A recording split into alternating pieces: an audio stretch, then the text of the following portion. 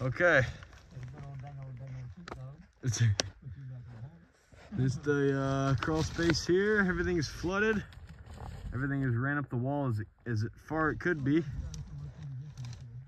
So two feet of overlap on every single wall. Good overlap on the posts.